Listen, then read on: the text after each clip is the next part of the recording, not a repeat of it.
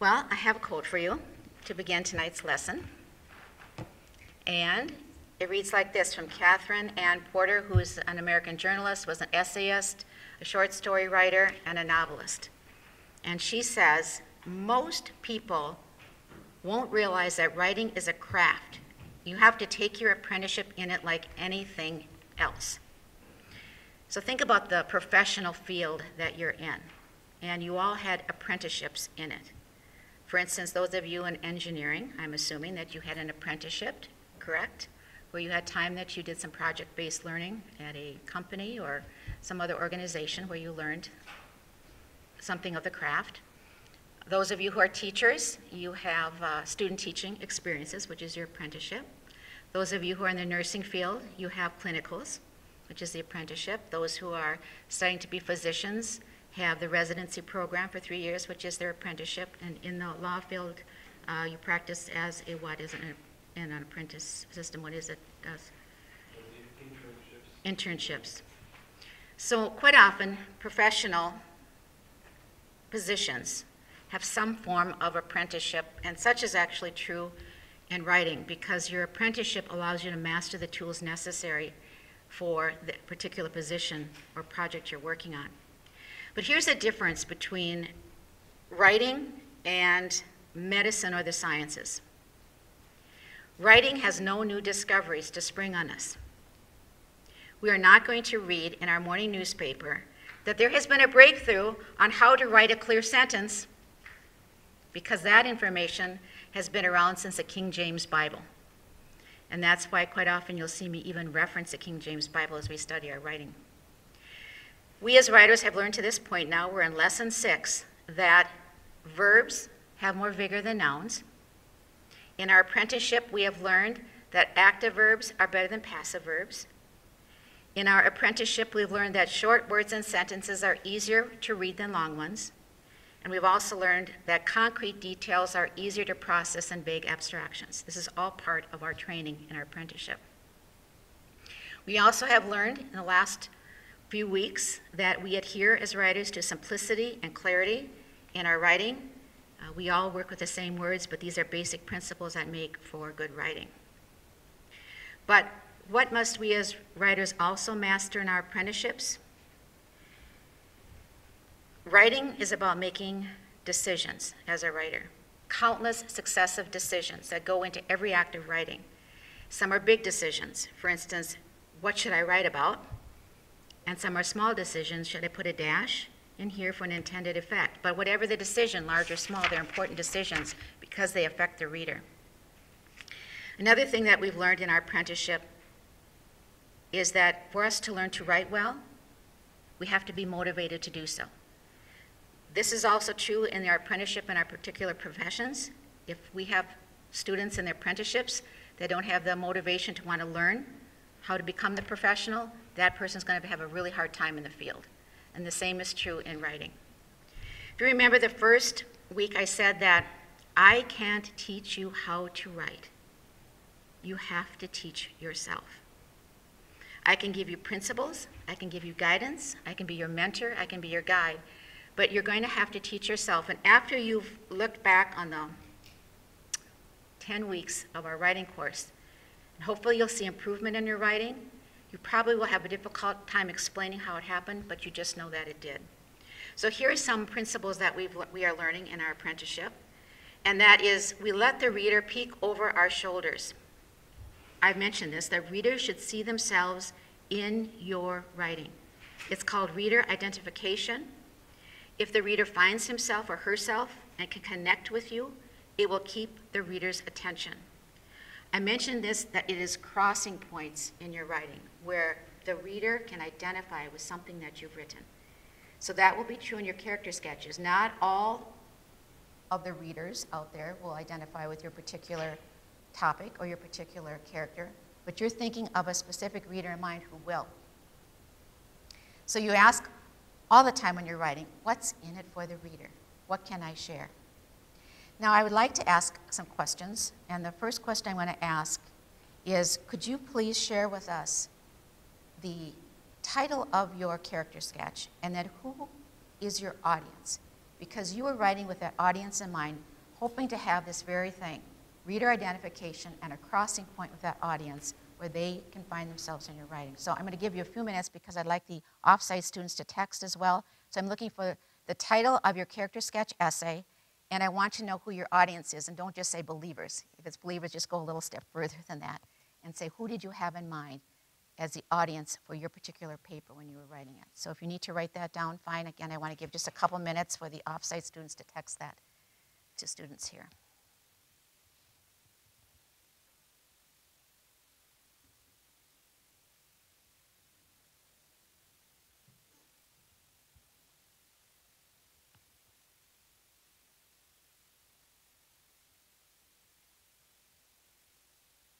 Travis, do you mind uh, moving the mic down? I'm going to start with, and then we'll work it around this way. All right, whenever you're ready, again, the title of your character sketch and who is your audience.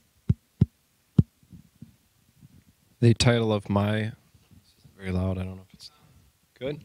Title of my character sketch was John Mark from useless to useful, and the audience I was thinking of was discouraged believers or believers that were discouraged from past failure, and just using that character sketch as an il- illustration of uh, how you can leave that behind and, and move forward, and how God can use what was useless uh, in the future despite the past mistakes. So your audience really drove that essay, didn't it? Framed it. That helps to know who your audience is. Rebecca? excuse me. Mine was called Gideon Victorious Through Faith, and I my audience was also believers who are discouraged or feeling inadequate to do God's work, and how um, God strengthens your faith, and He is the one who's worth trusting, and that He can do great things through you and give you the victory. And with that in mind, the audience in mind, that motivates you to want to write well, Mm-hmm. doesn't it? Travis? I did uh, Legion, or the Maniac of Gadara, however you want to call it, and I called it Legion, the Beloved Maniac. And uh, uh, the audience would be you could I could have written it to an unbelievers, but I chose to go with the believers and those who maybe feel like they're sort of I don't know I don't I don't want to say out of control, but sort of just they feel like they're uh, maybe just feeling out of control, or you know their life feels out of control, or something like that, or they just don't feel like they have a handle on things. And just say the, the, it's just kind of a story that shows the love of God and pursuing and the value of people. And so, I look forward to reading that. Um, my title is Nehemiah Building for God's Glory, and my audience is people in or aspiring to management or leadership roles. Oh, interesting. My title is The Proverbs 31 Wife, a picture of all forms of wifely excellence. Mm. My audience is the modern American wife who thinks she needs to do it all. Mm.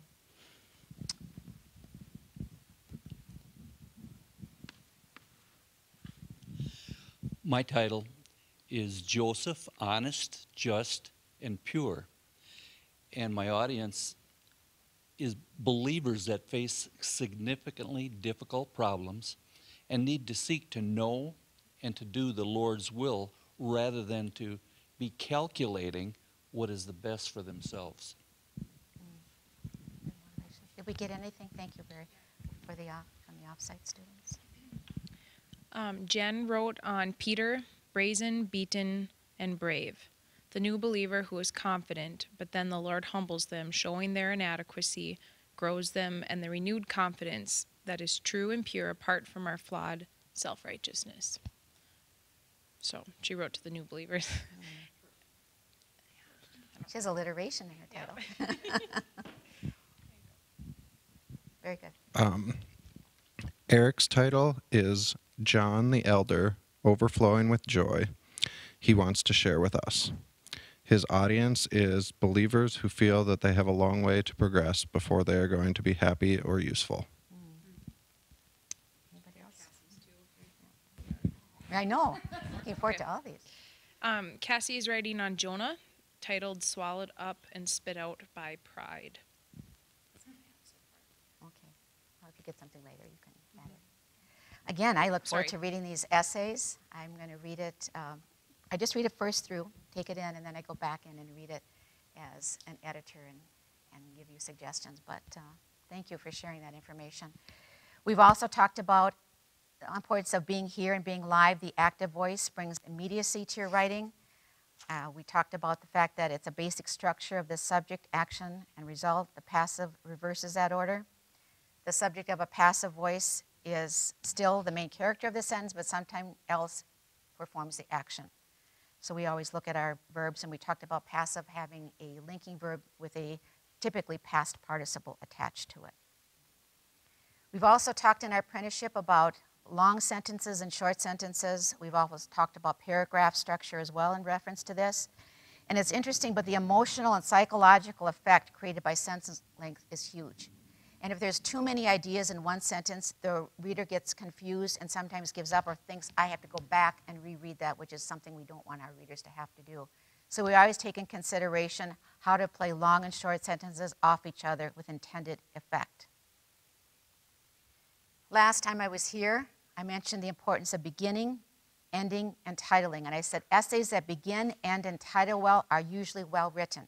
So my question is, did that surprise you? I still hadn't talked about the middle of the article, but I was talking about the beginning, the end, and the title. And I said, if those are written well, that essay probably is written well as well. Did that concept surprise you or not? Did not. Your thoughts on that? Where's the anybody who wants to comment? Go ahead, grab the microphone. I thought if if it ties together the beginning and the end and it's captivating and exciting, usually you've got your points and you know where you're going. So if you can tie the front and the end together, usually the in between content should be congruent and mm-hmm. fit, Right. and hopefully be interesting too. Hopefully if you if you can write a good intro and ending, then hopefully you can write a good in between. And, and that's so true, and I'm so glad you see that. But unfortunately, many amateur writers, if you will, don't think of it that way. They don't think about the importance of the introduction. They don't think about the importance of the conclusion, and they, lo and behold, don't even think about the title. If they put it on, they put it on the last second and just splash something on, and off you go. Those are very important keys. Those are also important for you as speakers. So when you're giving a message, think in terms of your opening, think in terms of your close, and think in terms of your title. And as I mentioned to you, my recommendation is you write your introduction out, you write your conclusion out, and you also have a title attached, and then you can have bullet points in between as a speaker. But it's important that you begin well, and it's also important that you end well. And if you have your conclusion there in front of you, even though you're thinking, oh, I'm not going to cover all this material in my message, you think, mm, I'm going to go to my conclusion and I'm going to end well. Rather than say, well, I think that's it for today, and we'll just pick it up next time. Uh, strategies to begin well include a startling statistic that works or state the thesis. We're going to talk about that tonight. You can provide an interesting quote, or you can ask a question, or even give a brief narrative. Stories work well to begin essays, even expository essays, even technical reports, because people like stories, and you'll catch their attention right away. I have some quotes from Writers Talking Shop. Uh, one was from Gabriel Garcia Marquez, who's a Col- Colombian novelist and essayist, and he says, One of the most difficult things is the first paragraph. And once I get it, the rest just comes out very easily. In the first paragraph, you solve most of the problems with your writing. The theme is defined, the style, the tone. My question to you as writers did you find that to be the case in your writing? Was the opening the most difficult part for you to write? Can you just share your thoughts on that? And I also don't mind text coming in as well. Somebody want to grab the microphone and give me your reaction? Was the opening the most difficult thing for you to write in this character sketch? I thought the opening was the easiest thing Okay, great. to write Mhm. because I always start at the beginning, and that was the part that I put the most thought into. Mm-hmm. And once I started, then it was like, okay, I haven't thought about the rest of it, and it then had to there. figure out and think as I went more than thinking about, oh, I'm going to start this, and then I'm going to start like this, and then That's wonderful. So, that. that was my experience with that. Some have a hard time because they write their essay or their article and then they find the introduction in there somewhere. did you have any thoughts? Anybody else have thoughts on that? Um, Cassie said that for her it was the ending, just Was the most difficult? Mhm. And also her um, paper on Jonah, she said that her audience is to believers who are discouraged and have failed. But personally, I think the beginning is hardest for me because that dictates where I'm going to go with my paper. So I have to be, like, if I, I have to be locked in on my intro because that's hopefully going to direct where my paper is going. So if I'm not very thoughtful about it, I just think the rest of my paper a lot of times is random or doesn't connect mm-hmm. and then I'm frustrated, and then I have to go back to the beginning and try to like make it fit with what I wrote in the content. So the tri- the beginning is tricky Each, for me. each writer has a unique way of doing it. Some just write, do the free write, and then they find, okay, here is my introduction somewhere in here, and they move that forward. Some don't write their introduction till the end. Some have to write it at the beginning, as you did. Any other comments? Okay, let's look at another quote. This is from William Zinsser on Writing Well. Remember, I gave you a recommendation of this book. This is his, and it's excellent information on how to write well. And he says the hardest decision about any article is how to begin it. The lead must grab the reader with a provocative idea and continue with each paragraph to hold him or her in a tight grip, gradually adding information. Get the readers so interested that they will stick around for the whole trip. The lead can be as short as one paragraph and as long as it needs to be. So we've looked at various models. Some have their introduction as one paragraph, some we've seen go into the two paragraph introduction. How many of you had the two paragraph introduction? Okay. Most of you had the one paragraph introduction? Can't remember? so when you are thinking about your essay, whether it's a personal essay, character sketch, or the expository informative essay we're going to learn about tonight, you think in terms of the grand design. And the grand design is this How am I going to begin? How am I going to end? And then what is going to take me to that place? So, what's going to be in the middle? And that's called the grand design, where you're thinking in your mind, all right, what's going to be the structure of this? And then, quite often, then you find your title somewhere in there. But that's called the grand design of your paper, and that drives a lot of your decisions, as we will see tonight. Uh, the conclusion, when your reader gets to the conclusion, there should be that takeaway. What is the reader going to say? That was so helpful. That was so encouraging. I never thought of that. Thank you, writer, for sharing that with me. I mean, typically there is some response on the part of the reader by the time he or she gets to the conclusion. Leave writers with something that lodges in their minds. And then we have the conclusions. And I did mention last time I was here introductions are hard, openers are difficult, but conclusions can even be more difficult. And I think Cassandra mentioned that because quite often we don't know when to end. So we come up with cliche endings, we attach to them. In summary, in conclusion, for the last thought, and the reader knows it's the last thought. So we try to move away from those type of cliche endings and think about how do I end well? These are the last thoughts that this reader is going to have in his or her mind. How do I want to end that? And then that last sentence in particular should resonate with the reader. There's different ways to conclude, and it depends upon your grand design. The long run is the idea that you made a statement in your thesis in the opener, and you took your essay to get to the final place of whatever decision that is. Um, the full circle means that you take from the beginning of your essay and you bring it around to the end. Sometimes even the full circle takes the title and puts the title at the end, the thought of it anyway, at the end of the essay. That's called the full circle. Some decide they're going to end with a startling surprise with the last few sentences, and the reader goes, I never thought of it that way. Or that was really profound. And then some comes to a decision, meaning they put their thesis in the opener and they came to a decision in the close. The most satisfying essays are those in which the conclusion provides an interesting way of wrapping up ideas introduced in the beginning and developed throughout. A conclusion may inspire the reader to further thought or even action, may return to the beginning, or may surprise the reader by providing a convincing example to support a thesis. Here are some famous quotes for you. Beginning and end shake hands with each other. That's a German proverb, and that's the idea of the full circle conclusion, meaning it felt complete to the reader. It felt like all the pieces were tied together.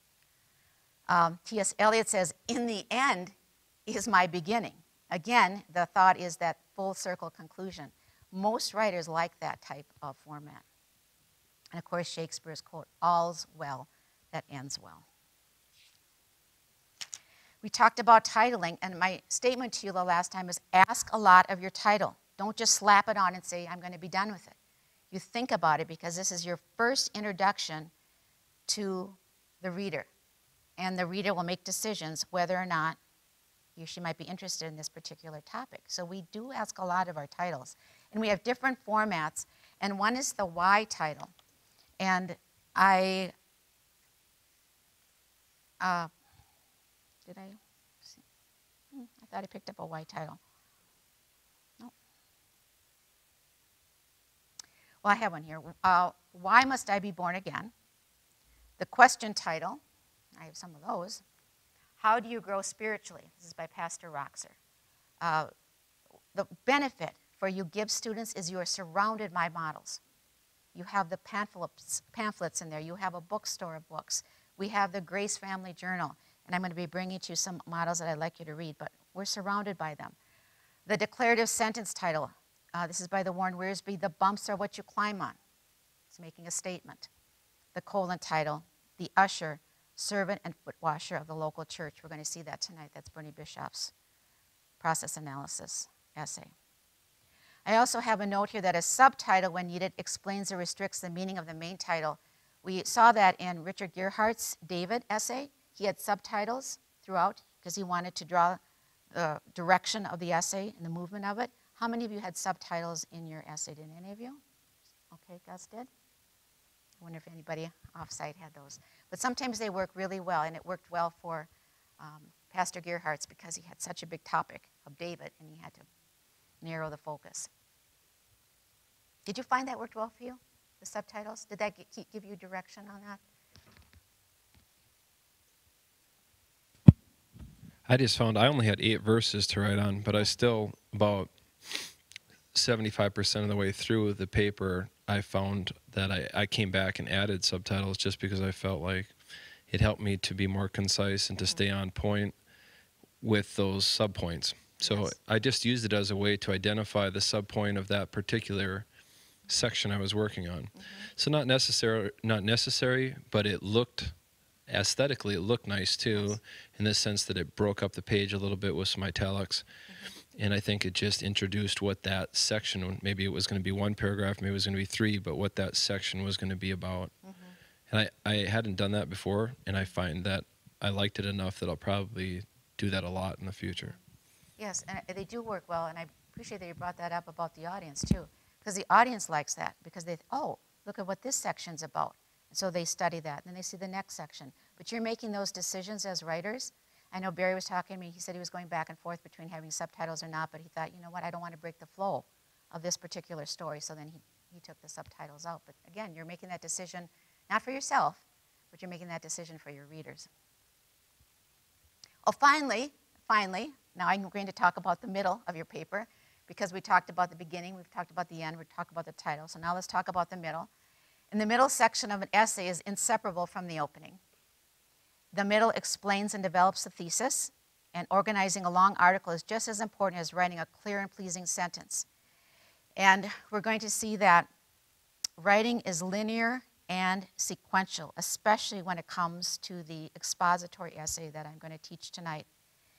It's the logic of the it, it- the logic is the glue that holds it together from one sentence to the next, and from one paragraph to the next, and from one section to the next.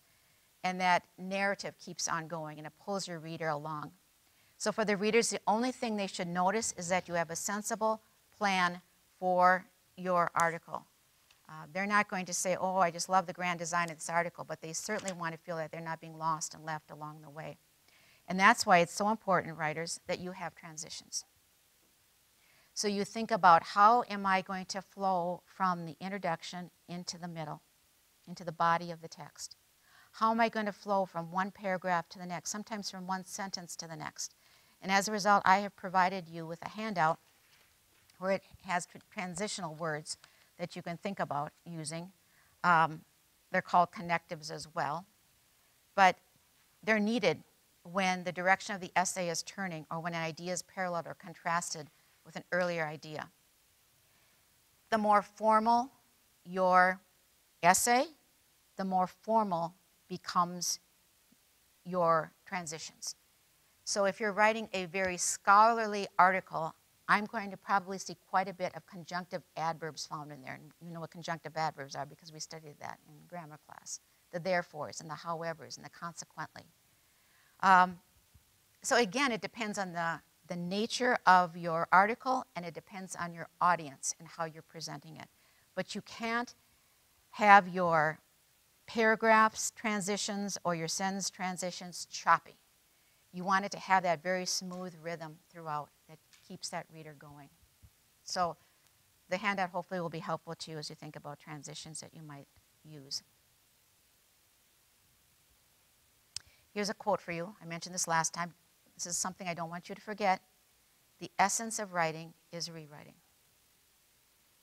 So we examine the opener, the close, the title, the middle. So we write, and you're fortunate in this class because you write your first draft, you turn it into me, I give you feedback, and you get to go back and write it again and rethink it. And then it ends up in the portfolio. But writers quite often go through many iterations of work when they're writing articles or books or pamphlets. And it's sometimes very difficult to submit the final copy because there's always something you think I could have improved on, but there comes a time where it, it has to go. But the essence of writing is rewriting. In fact, uh, here's an interview with Ernest Hemingway. The interviewer said, How much rewriting do you do? Hemingway, well, it depends. I rewrote the ending of Farewell to Arms, the last page of it, 39 times before I was satisfied. Well, was there some technical problem there? What was it that had stumped you? Getting the words right. I'm sorry, the formatting didn't come out the best on that. It must be different um, programs we're working with here. But Ernest Hemingway had to rewrite his last chapter 39 times. He still didn't think he had it quite right, but he knew he had to turn it in. So that's the idea that we have as writers, is that we know that the essence of writing is rewriting. And maybe in the past you never thought of that way. In the past you might have submitted your papers to your instructor. You got a grade, maybe some comments, and that was the end of it. Tossed it off and there you went. And didn't go back and review it, rethink it on how it could be better. Here's another quote from Paddy Chayefsky, who says, I've cut some of my favorite stuff. I have no compassion when it comes to cutting, no pity, no sympathy. Some of my dearest and most beloved bits of writing have gone with a very quick slash, slash, slash. These four pages out because something was heavy there. Cutting leads to economy, precision, and to a vastly improved text. So here's my, my question to you as writers. Did you find that was true in this particular essay that you wrote? Did you write something that, this is not sounding right, this isn't working well, off you go, delete, delete, delete, try it again. Was that an experience that some of you writers had? I'm seeing yes. A few comments, please. You all said yes to that, so.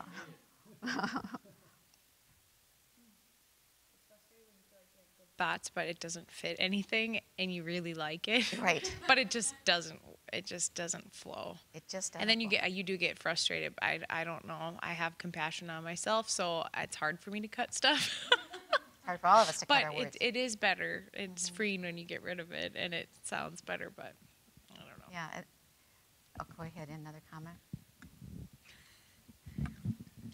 I'm I've always been a huge fan of the red pen because I always thought it made it better um, to look at it from that perspective of does it work, does it not work, does it communicate what I want it to communicate, and well, are the words right? Mm-hmm.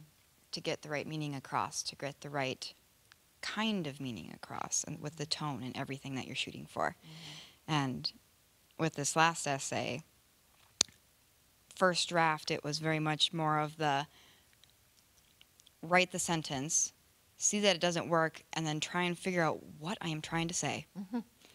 And then trying again and again and again until I figure out what I'm trying to say, and then trying to find the way that I can say that in the best way possible. Which You sound like haven't got that far yet. Yes, no, you always sounding like writers, because this is what writers do. You just don't quick write it and off it goes, but you agonize over it at times. And you think, oh, I really spent a long time writing this, but it's just not working. So off it goes.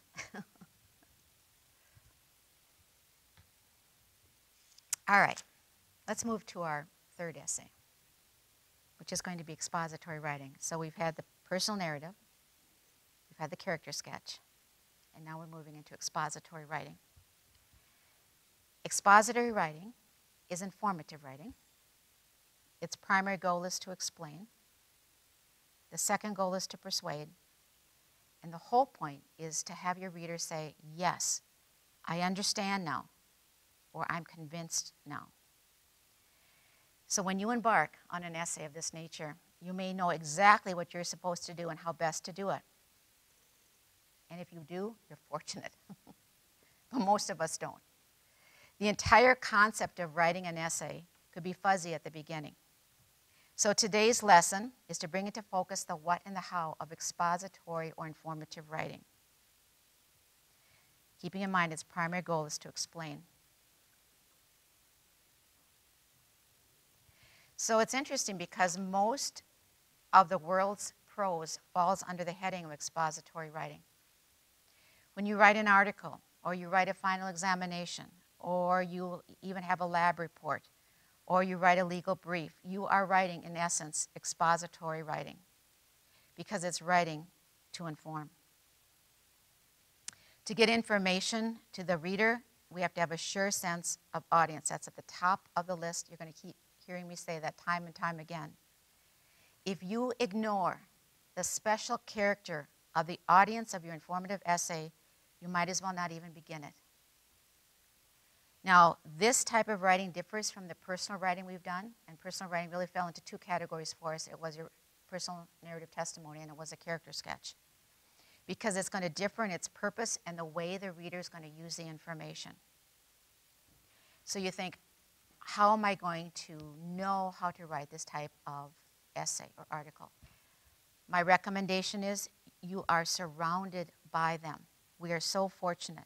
These are just a few of the Grace Family journals that I brought along with me, but I want you to know that they are filled with expository writing examples. We have pamphlets as well to which we can refer, and you probably have shelves of books that are informative in nature. So, what you do as a writer is you find some that speak to you as writers, and you study them for the craft of how they set it up, how they transition, and how they close. Now, I've all been asked questions about length as well. And my recommendation on these essays is don't give readers of an article or pamphlet more information than they require. If you want to tell more, then you have to write a book or a scholarly article with a specific audience in mind. So when you look at the articles that are in the Grace Family Journal, and some of them came from my former students, most of the students submitted essays were anywhere from, I'd say, five to seven to nine to 12 pages in length, but max was 12. Most of them ran about anywhere from seven to nine pages, but some had even less than that. So you're going to find those type of examples in the journal. So read informative articles and write one like them. Informative writing is to explain, not so much a matter of opinion, but you're convincing yourself you are a teacher if you're writing process analysis, but you're informing with integrity. And in argumentative writing, you're seeking to persuade. An argument is a point of view with reasons to back it up and intentions to sell itself to others. Most of the articles we see here and that fall under argumentative, and within this argumentative framework, we'll find, oh, that's a comparison contrast structure, or that is a cause effect structure, or that is a process analysis. But in many cases, it's set up as an argument because an argument means to persuade. to move people to agree with you, to sell your position to the audience. One of the things that I'd like you to do within the next two weeks is read Paul's argument in 1 Corinthians 15, which is his argument of the resurrection. Beautifully crafted, beautifully written, with examples and proofs. And you probably know that chapter well. Paul was faced with this um, Corinth was a Greek city, and the Greeks did not believe in the resurrection of the dead. So when Paul preached in Athens and declared the fact of Christ's resurrection, some of his listeners actually laughed at him. You can read that in Acts 17:32. It says, "And when they had heard of the resurrection of the dead, some mocked, while others said, "We will hear you again speak on this matter." Well, with this skeptical attitude, it somehow invaded the church, and Paul had to face it head on, so he wrote this argument regarding the truth of the resurrection. And he presented three proofs in there. Now, proof number one was their salvation, Proof number two was the Old Testament scriptures, and proof number three was Christ was seen by witnesses. And when you read the chapter, you'll see a couple of therefores in there, which means that he's writing in the logic format. And when you look at the very last verse, verse 58 in that chapter, he comes to his conclusion. So if you would read that the next two weeks, we'll come back and we'll talk about it. And I do want to talk about his conclusion at the end of that chapter. So we see argumentative writing in Paul's work as well. Think of another book that falls into the argumentative structure. Can you give it to me of Paul's writing? Yes, the book of Romans. And if you recall, I mentioned when we were studying GIBS grammar, it's a book of logic. So as a result, you see a lot of therefores throughout the book. So he has different formats based upon his audience, based upon his purpose, based upon his intended effect. When we were in Second Corinthians, oh, this was probably four weeks ago. We were talking about that book. What kind of style or tone was Second Corinthians? What do we refer to that book as? Rebuking, and also he wrote it as a personal narrative as well, didn't he? He talked about his own story. So, it again, it depends upon his his topic, his audience, his intended effect, his purpose. So it's interesting to study the various writing styles of the Apostle Paul with that in mind. Argumentative writing seeks to persuade, establishes a positive relationship with the audience. Just because we use the word argue doesn't mean that we take this confrontational point of view. No, no. We want to persuade, we want to win over and convince our audience, so we don't want to sound confrontational as a tone.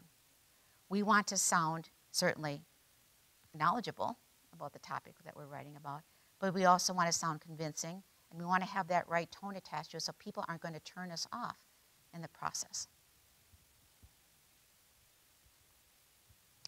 So we're going to think about this final essay that you're going to be writing and the four organizational structures of the grand design because expository writing falls into four categories. You can have comparison contrast. You're thinking about your topic and deciding is that going to work? Is cause effect going to work for me? Is process analysis going to work, or am I going to go strictly on the argumentative format or design? Organizing is a strategy that grows logically out of your topic and your purpose. So let's talk about these four organizational strategies. And I want you to think about what could potentially be your topic for it. As soon as you can think about it, the better. I'm going to give you some suggestions right now. You could write on a topic that perhaps you have spoken on, and you think, you know what? I want to take that material and I want to put it into a written format. That works well, actually, because there's a very great similarity between writing and speaking, but yet it is different so you think, I'm going to take something that I spoke on and I'm going to turn that into a written text.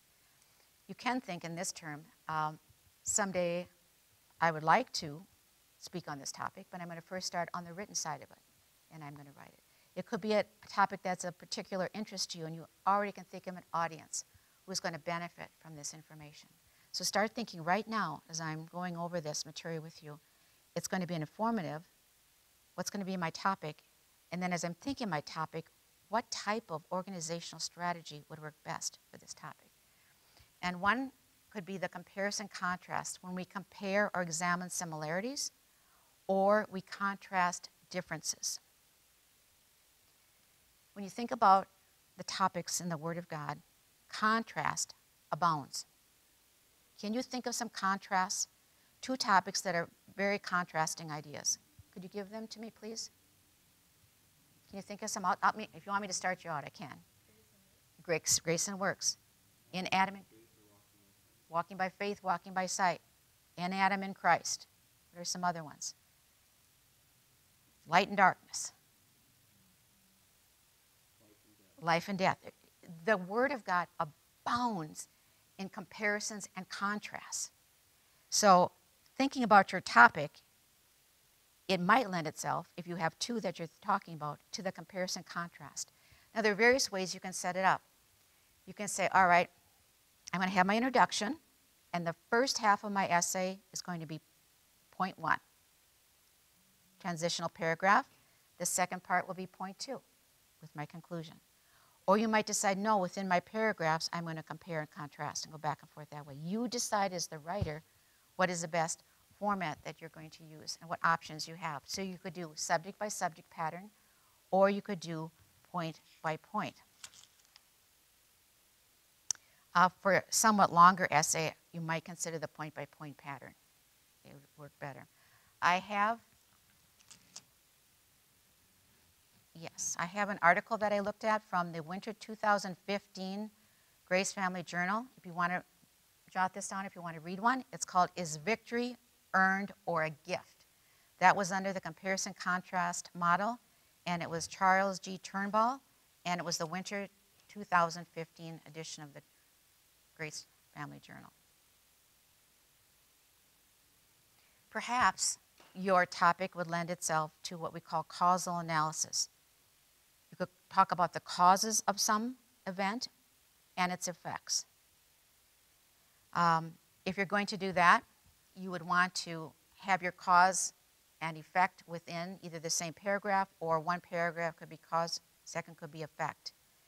I have an article for you to read if you're interested in the cause effect analysis and what does that look like and how does it set up. And here it is. It's Why I Am No Longer Free Grace by J.B. Hixson. It's the winter 2013 edition. Why I Am No Longer Free Grace, J.B. Hixson, winter 2013 edition. I could stand up here and I could teach you the organizational structure, but the best way for you to learn as writers is to go in and read it for the craft, study it, pull it apart, see how they organize, and see how it fits for you. And then there's another option for you process analysis. When I went through the articles in the Grace Family Journal, when I looked at the pamphlets that I have at home, from the Gospel Press, Grace Gospel Press. Many of them fell within this model. Process analysis.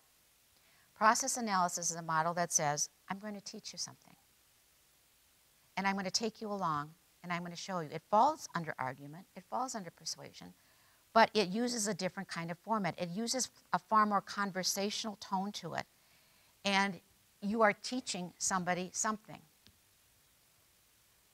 if I were going to be standing in front of a group of teachers, I would say to them, there's eight ways that people learn. And here they are on the PowerPoint slide. They learn when you give an overview. In the opener, you let them know what you're going to teach them or what you're going to share with them. You give examples a lot. You use for example and for instance.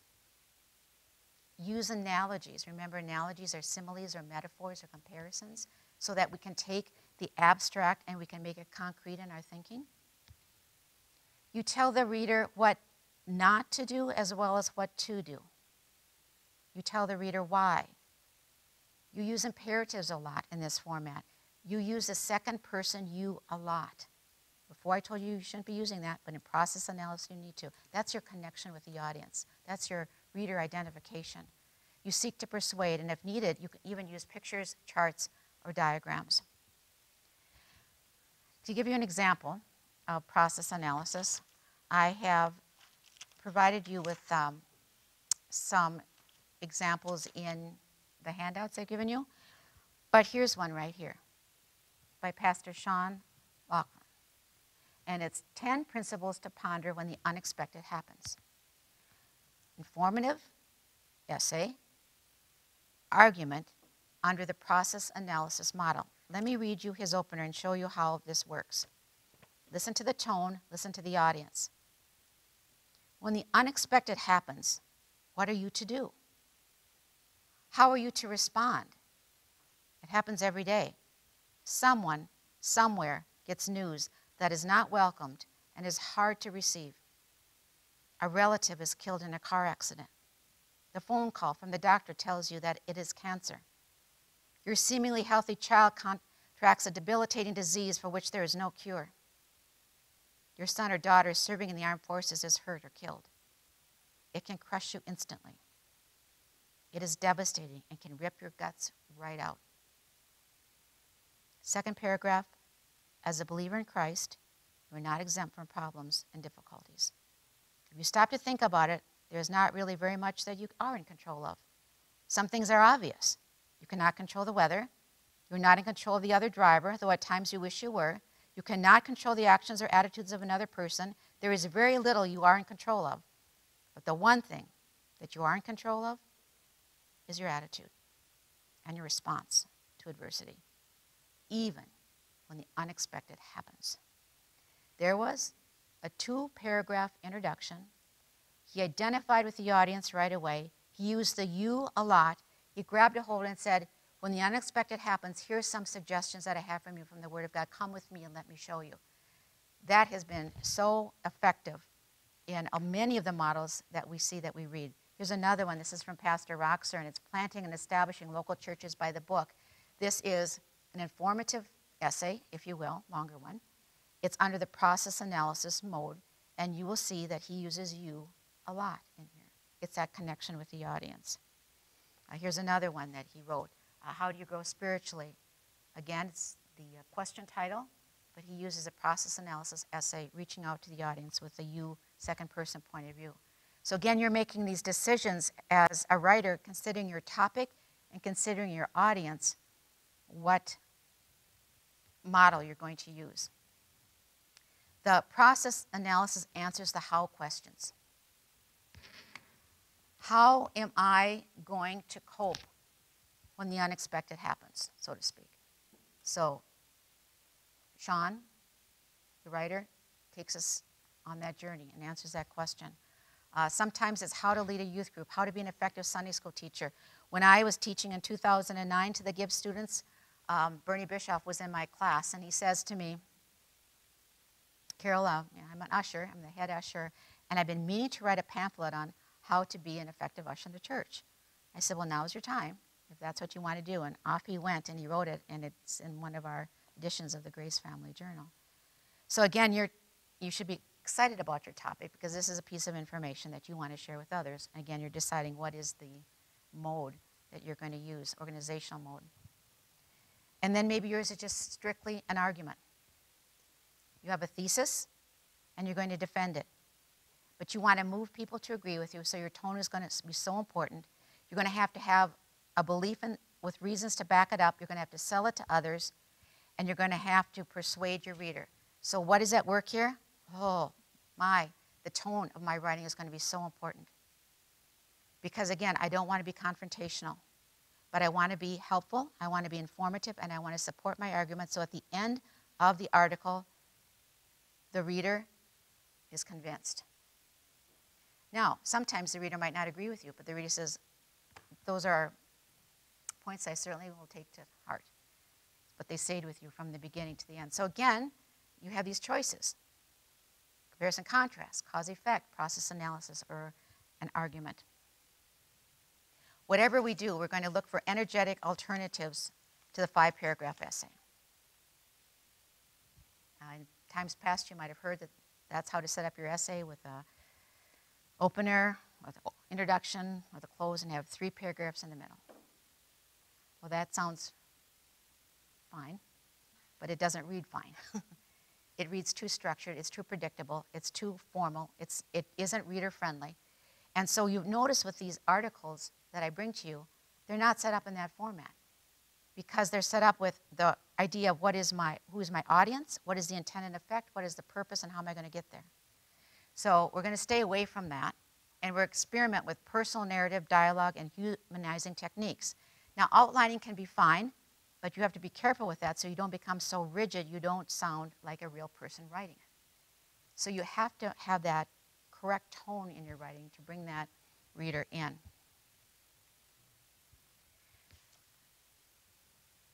Thesis, audience, purpose, and tone. There are some statements that I want to leave with you that when I'm no longer your teacher here, you're going to think, I just keep hearing Carol Helland mention these terms to me um, all the time. And this is one thesis, audience, purpose, tone. Can we go back now? What are some of the things that I want you to remember after I'm no longer GIBS teacher? Writing is first, what is it? Creative, then corrective. Okay? Good writing is aware of its audience. Show, don't tell. The essence of writing is rewriting. rewriting. And when you get into a expository essay or speech, this is what you tell yourself. Okay? Thesis, audience, purpose, tone. Thesis, audience, purpose, tone, meaning I will have a thesis statement either in my opener or my close. Who is my audience? What is my purpose, my intended effect, and what tone am I going to use that works with this particular piece of writing? Thesis, audience, purpose, tone. I have not talked about thesis statements to this point. I will now when it comes to informative or expository writing. A thesis statement is simply this it's a one sentence, declarative sentence, statement summarizing what your essay is all about. You can find it in this opener, and it's usually the last sentence in your opener. And if you put it there, you're telling yourself, okay, I'm going to use deductive reasoning. I'm going from the general to the specific. Or you can be doing inductive reasoning where you put your thesis statement at the end. but it should appear somewhere in your writing. Here are a couple that I gave as examples from articles I read. Abraham, a man who couldn't wait, it read like this Since the promises of the land were given to Israel by the Lord, it is apparent that the solution to the current unrest can be found only in the Word of God. Mm. The writer just made a claim, and the writer must now defend that thesis, and the entire essay then unfolds with that thesis in mind. Here's another one. This came from the seed of Abraham. Bible believing Christians are blessed through Abraham's seed, who is Christ. Okay, now, the rest of my article is going to be how are Bible believing Christians blessed? And I'm going to come up with points. I'm going to say to myself, am I going to have three points in this essay? Am I going to have five points? But I don't want to have too many. Because if I put too many points in my essay, my reader is going to get lost. So it depends again on your intended effect driving those decisions. Here's another one. So if somebody's reading in Jude 11, and here's how the verse goes Woe unto them for they went in the way of Cain and ran riotously in the error of Balaam for hire and perished in the gainsaying of Korah. Taking that, if I'm going to write an article on this, thesis could be individually Cain, Balaam, and Korah speak of particular aspects of what it means to, fail, to fall away from the truth. Together they present a complete picture. See what I did there? I was able to get away with one sentence, though I had two ideas in my thesis, and I used the semicolon to do it. Now I'm still legal. Typically, we don't do that, but if we have another one I need to get in there, I can do that and attach it in that way. So, when you're writing a thesis for your particular article, you ask yourself questions. Okay, is this worth saying? Does it narrow my topic to one main idea? Does it make a claim or assert an opinion? Can I support it by details, facts, examples, certainly verses within the limitations of time and space? Does it stimulate curiosity and interest in the readers? Am I using exact language? Uh, I'm repeating myself. Does it not include anything that you do not intend to discuss in your article or essay? And is it one complete declarative sentence, usually with one independent thought? Okay. Thesis. When you are reading the examples that I have given you, I want you to look at their openers and I want you to see their thesis and see if you can find it. Take your highlighter, take your pen or pencil, and underline it and see how they include the thesis in the opener. Okay, thesis. Second thing I say to myself, audience. So in my informative essay, I write to a specific audience. Second, guess readers' needs, which will determine tone, diction, sentence structure, and mode of argument, which narrows my audience. And each audience has to be talked to in a different way. Okay, question. This audience right here. How does this audience need to be talked to? Gently, comforting, very carefully. Because somebody's going to pick this up who something unexpected happened and they don't know where to turn. How do I grow spiritually? Who do you think the audience is for this? New believers. So, again, that will drive the tone and the intended effect as well.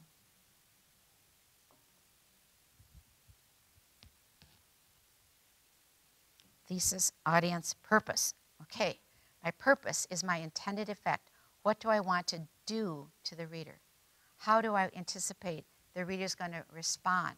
These are not good purpose statements when you're writing something, just to complete an assignment, just to get a good grade, just to write a good paper, to learn about topic X, to practice researching, thinking, and writing. And you don't have to raise your hand on this one. But in times past, has this been the purpose? And if it has, it's difficult to write well when this is the purpose. Just to write the paper and get it done, hopefully get a good grade, we'll hope for the best, um, to learn about topic X. What should we as writers and GIBS have as our purpose? Again, it depends on what we're writing to, but it's the intended effect. And I was listening to the character sketches, and most of you said to encourage, to encourage, to encourage, to encourage. I heard that going around. And that would be considered a purpose statement to encourage the readers, uh, to the readers not to give up, to fight the good fight, to continue on. So, the purpose, you need answers to questions why am I writing this? What do I hope to accomplish? What's the task this article sets out to perform? What's use is the article to the reader? Those are all purpose questions. Thesis, audience, purpose, tone. Thesis, audience, purpose, tone. When you think about tone, you think about the writer's voice. Tone is the emotional mood of the writing, and it's described by the adjectives we use to describe people's moods or personalities. You can have a gentle tone in your writing. You can have a formal tone. You can have a conversational tone. You can have a professorial tone. You want to sound very academic. You can have a casual tone. Again, it depends upon your audience and your purpose. But the first rule of writing, you must have one. You must have a tone. The reader must feel like there's, the tone is emanating from your writing, that he or she is connecting with that. Because writers who don't have one, are boring and they're disconnected from their audience. You must sound like a person with a living, distinct personality. And if you write like a robot or you sound like Siri, you're going to bore yourself and your readers. And quite often, people who are writing never think of tone. It doesn't come to mind. Because they think, well, tone isn't that chosen for me? Isn't it determined by topic? Tone is determined by purpose. What are you trying to do? What tone will further that cause? And the more tones you have at your command, the better your writing will be. Writing everything in the same tone is as impractical as using the same, hitting every golf shot with the same golf club. You are golfers, you know you wouldn't do that. But as writers, will we do that? Use the same tone? No, because we know writing all of our work in the same tone is going to be boring. So we learn the importance of tone in our writing. Tone is not determined by writer's personality, determined by purpose, and tone matters, sometimes even more than content. Wow, explain that one to me. Tone sometimes matters more than content. Can you explain that? Why would I make a statement like that? You agree with that? want to pick up the microphone or? Content can be good, but if they're coming across in a way that is totally turning off to you, you're just going to shut off to what they say. Correct. Yeah, that's exactly true. So we have to keep that in mind. Every piece of writing has an effect, an emotional feel, an unstated message. And that's why, again, I go back and I reference the tone of this particular article, which is very comforting tone. And it has the identification. I've been there, and I, this is what I've learned from the Word of God. All right. Here's what's going to happen in the next few weeks. I am not going to give you a writing assignment to turn into me in two weeks. We have two more sessions left after this. Um, our last session, I believe, is June 4th. And I took some time thinking about this. I want my students to read articles, but I want my students also to think about what is the topic that I want to write to, because this is an important piece for you as students. It will follow you into your expository preaching course as well, learning these elements. So I thought, okay, with that in mind, I'm going to push out the expository essay to June 4th, and then the portfolios do then, but the expository essay then won't end up in the portfolio for final revision. The only way that it will is if you want to send it to me summer and say, Carol, I want to keep rewriting it, tell me what you think, and I certainly would help you with that. I just want you to spend time reading, thinking, and then doing this right here. You write notes write research. Maybe you already have something written because you have spoken on it, now you want to turn it into a written piece. And you just begin dumping your ideas onto paper. You empty your head, if you will, and you write as fast as you can. Don't stop on your topic. So, with the research that you're doing, the scriptures that you're referencing, you're just writing. I call that the first drafts. Uh, most people experience an awkward and sometimes paralyzing translating process in writing, and they say, Let's see, how shall I say this? but this is called free writing, which helps you to learn just to say it, just to get it out there. We're not worried about the corrective side of it. We're just worried about the creative side, and we're getting our ideas down there, and then we're going to learn about the format. So, in light of writing your ideas, then you look at what structure do I want to impose on this essay?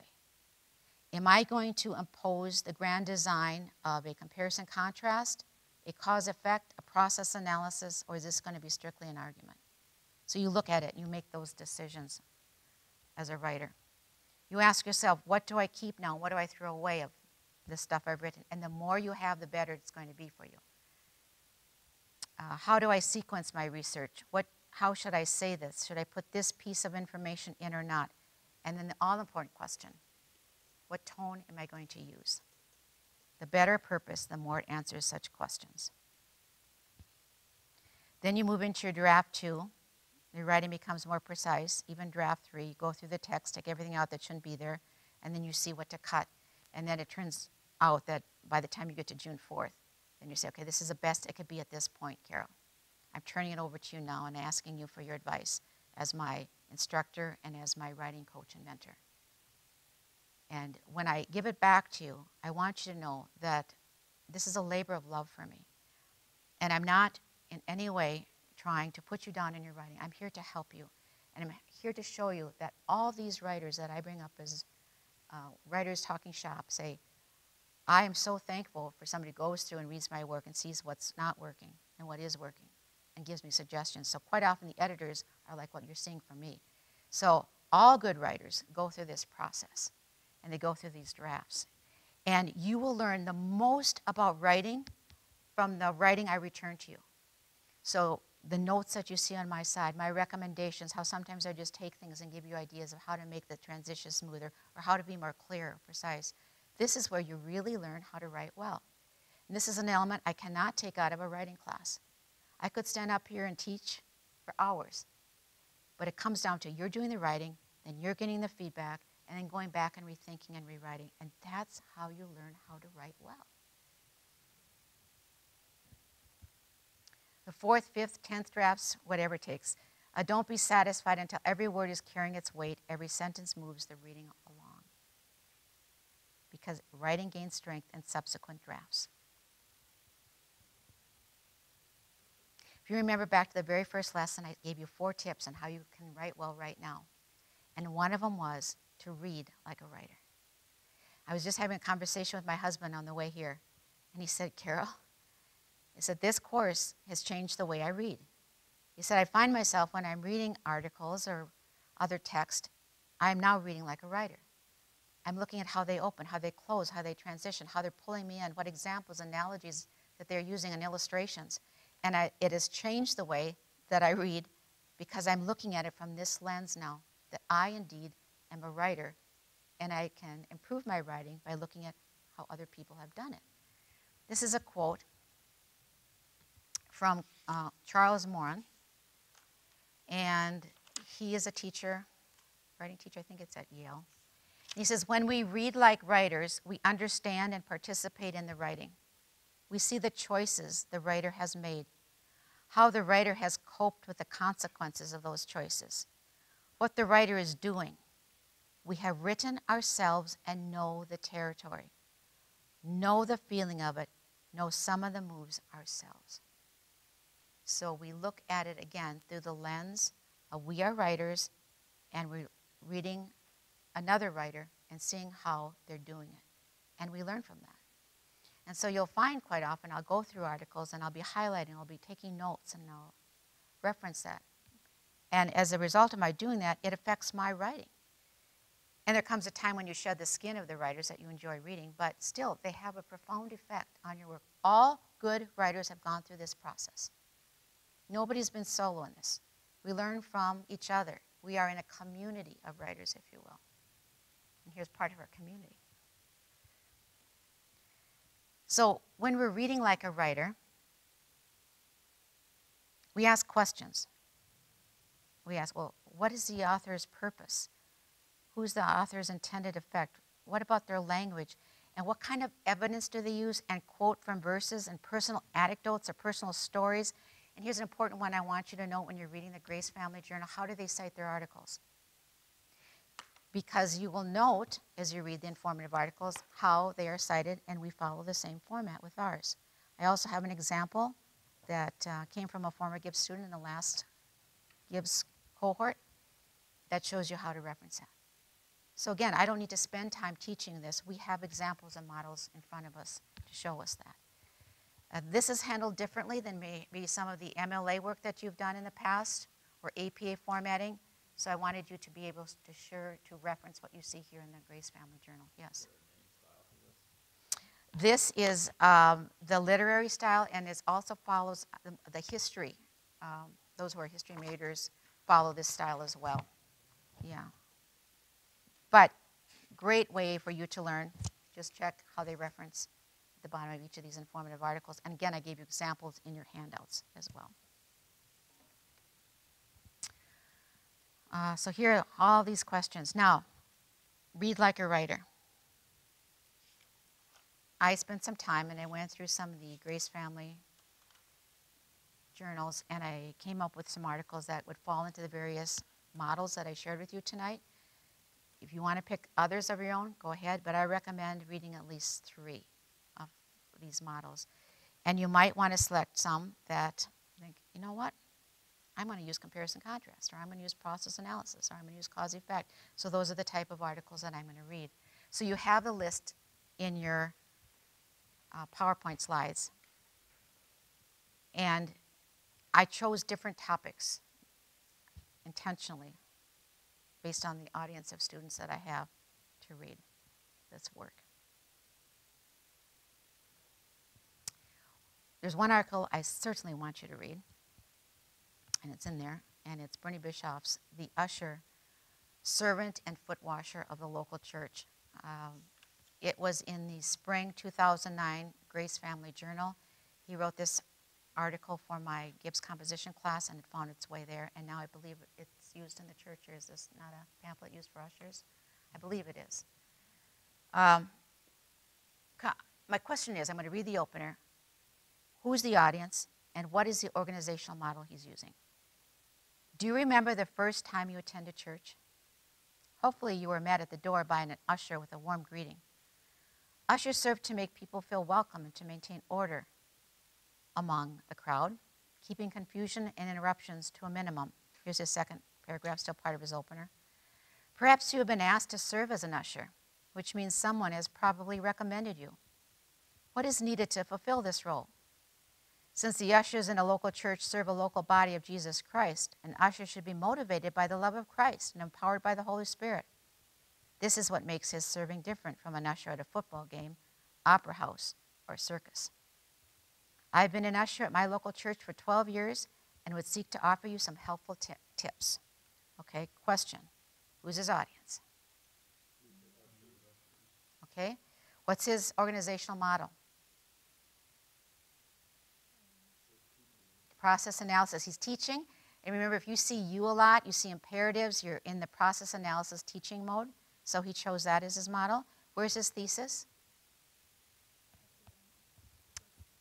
Yep, the end of the second paragraph, right? I have been an usher at my local church for 12 years and would seek to offer you some helpful tips. And then he goes in and he'll, body of text, and he'll give you the helpful tips. So right away, he identifies with its office. Okay, next question thesis, audience, purpose. What's his purpose? To educate those who are going to be ushers of here are some tips to help you to become an effective one. Thesis, audience, purpose, tone. What's the tone? Instructive and encouraging and more even conversational in tone as well. So he's not intimidating me. I'm thinking about being an usher, so he's giving me some tips and he's not building that wall like I know so much and I'll bring you along. This is very conversational. And also, I wanted you to notice he starts almost like a, with a, say that, Gus? It's a question. He starts with a question opener. Do you remember the first time you attended church? And you thinking as a reader, indeed I do. Hopefully, you were met at the door by an usher with a warm greeting, so you go back and you think about that. Ushers serve to make people feel welcome and to maintain order among the crowd. So he tells us what an usher does, keeping confusion and interruptions to a minimum. So please continue reading that article on your own. I have another one. Um, this is What is Free Grace Theology by Dr. Michael Halsey, uh, excerpted from chapter one of Freely by His Grace. This is in the Grace Family Journal. I believe I found this there. Here's his opener. Theological disagreements about the content of the gospel are at least as old as the events recorded in Acts 15 and the book of Galatians. The latter is a polemic by Paul written to defend the good news of grace and salvation apart from works. His words are sharp as he pronounces scathing anathemas on anyone who would change the content of the gospel, as the false teachers were doing. First paragraph. Second, a few years before Paul denounced the false teachers who had by stealth moved into the Galatian situation, Jesus condemned the Pharisees, most notably in Matthew 23. Christ's disagreement with the works oriented religious leaders of his day continued throughout his earthly ministry. One might say that theological disagreements are as ancient as when man was east of Eden, as evidenced by Cain's and Abel's approach to the Lord in Genesis 4. The debate continues as represented by three positions concerning both the content of the gospel and its ramifications Arminianism, Calvinism, which manifests itself in what has been called Lordship salvation, and the free grace position have drawn their theological battle lines. What type of format does he have? What is his organizational model? Compare and contrast. And he also is in the argument mode too. He's seeking to persuade you. You saw that his thesis statement is the last sentence of his second paragraph, which now we're done with his opener. And there's another thing I want to point out to you. He uses the system of triads. And again, I said triads work really well in sentences. In some ways, we just think in terms of triads. If you're an artist, you know that that's a form that we use when you're designing. And he uses the triad in his thesis of this. Um, let's see, going to the very last sentence. Okay, the Arminianism, Calvinism, and the free grace position. So those are his three triads. He's going to continue to pull those out now and speak about that within his text. And I have one for us to look at um, the next few weeks. And this is from Ian Rokser. He wrote uh, Pray Without Ceasing Practical Tips on Personal Prayer. This was his um, essay. And when you look at it over the next two weeks, I want you to examine his thesis, his strategy, his strong evidence, his clean narrative line, and persuasive close. Here's, excuse me. Would somebody read his opener? I have it here, but I'd like somebody to read it, and I want you to answer the questions for me regarding his format, his organizational strategy, his audience, his thesis and tone, just by looking at the first paragraph. Go ahead. Five years ago, I was listening to a recorded sermon by Kurt Witzig, a teacher at Duluth Bible Church. Think of the most important activity you do on a regular basis, he said, pausing for a moment. Okay, keep that idea in your head. Now, how much better would your life be if you did more of that activity? After this thought provoking question, Kurt proceeded to deliver a message about the importance of personal devotions. This impacted me. I had spent time in personal devotions every day since my youth, yet I was not satisfied with my personal prayer life, which was inconsistent and anemic, generally used only in times of obvious need. Go on, please, because this is the rest of his uh, opener. Thank you. I'm convinced that many believers find themselves on the same sparse island, unable to escape.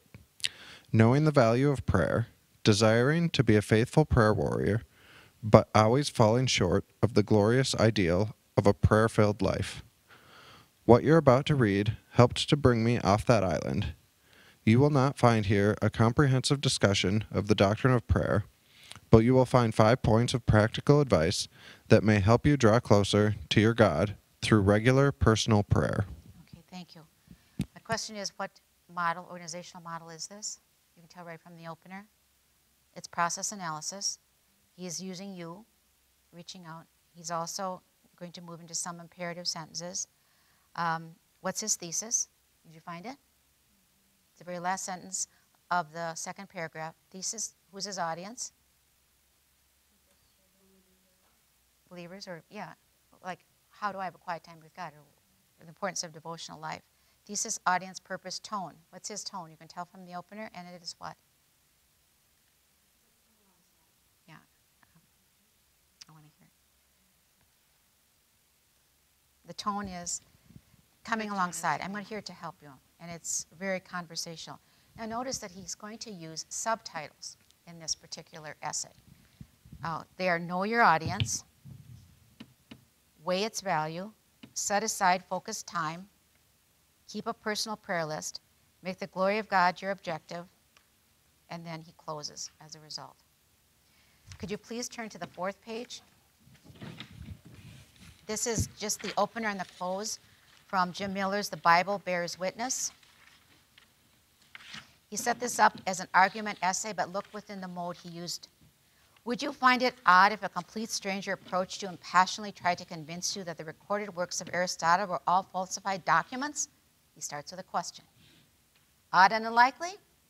Yes.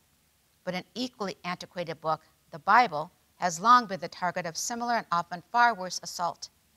Many an inquiring college student has taken a Bible as literature course looking for answers, only to have doubt and bias cast upon him or her. As if that weren't enough, hundreds of scathing blogs exist, accompanied by swarms of personal animosities to discredit God and His Word. The Bible is no stranger to attack. It has weathered battles regarding its validity since its inception, and therefore one must wonder at the enduring uproar surrounding this odd book. This debate forces the critical mind to consider the Bible's origin and reliability. Each individual must be the judge and jury as he or she objectively considers the evidence and puts the Bible on the witness stand of truth. Opener, there's a thesis. He has an argument essay, no question about it. But it's interesting, he also uses what kind of format? Can you tell? I'll give you a hint. Look at the close. he's in the U mode here, isn't he? So he's setting up an argument, but he's also bringing in the audience, and he's moving in that second person, second person pronoun you. So he's bringing in that process analysis, if you would. So it's eh, just an interesting twist on it. You have to decide what's going to work best for you, considering your topic and your audience and your purpose and your intended effect. So as we think about the next few weeks, this is what I'd like you to pay attention to. I want you to read the Pray Without Ceasing and the Usher for the May 21st discussion. I want you to select some essays in all of the compendium of essays that we have to read like a writer. I'd like you to read Paul's argument, 1 Corinthians 15. Then I want you to consider your topic for the expository essay, because I will be asking that at least, knowing what your topic is. And then you just research, take notes, free write your topic. In the meantime, don't forget about the personal narrative you have, that you're looking at and you're revising for excellence in that. And that will find its way into the portfolio. So everything is looking to that June 4th date. June 4th, I'm going to be submitting the expository essay, you're thinking, and I'm giving the portfolio to Mrs. Helen, and within that portfolio is a revised personal narrative and the character sketch that you're going to get returned in two weeks. I also will talk to you next time about a letter that I'm going to ask you to write in the portfolio. So my suggestion is to work with something you already have. Uh, work with something that you've used as a message, or work with something that you have written and you want to refine it. So that's, those are my thoughts. Do you have any questions about what lies ahead for us? Yes. I guess not what lies ahead, but um, can we talk about thesis some more? Um, after reading Bernie's two paragraph and then uh, thesis, it has me questioning that I don't know what a thesis is anymore. Okay, let me go back. I don't understand how his is a thesis. I have been an usher at my local church for 12 years and would seek to offer you some helpful tips. It sounds like a transition. It sounds like it doesn't need to be said. It doesn't sound like it's making a point. and maybe you'll So just need to go on and thesis? read the rest of the essay and see, because he's leading you now into those tips that he has as an usher. So he shows that his validity, I'm an usher for 12 years, and he's going to seek to offer us some helpful tips as an usher. So that's his thesis. He's making that claim. I've been an usher, and I'm going to show you the way of how you might consider what works for an usher as well. Okay. Okay, so the we look at claim another would one be too? Do you remember my reading this one? Where's the free grace? There is the one. You see the last sentence of the second paragraph? but not completely clear. So he's going to flesh out the Arminianism, Calvinism, and the free grace positions in his particular essay. But thank you for bringing this up, and when I come back next time, I'm going to spend more time on thesis. Okay. How's that sound? Yep. Remember what I said uh, regarding Sean? Here's was his thesis. Last sentence, second paragraph. The, but the one thing that you are in control of is your attitude and your response to or response to adversity, even when the unexpected happens. There's his statement. Now he's ready to launch from there. So here's what I recommend when you go through and read articles for the craft that you look at their openers and see where their thesis is. Sometimes their thesis is at the close of their article, but most put it as a last sentence of their opener. You have a question, Gus? Okay.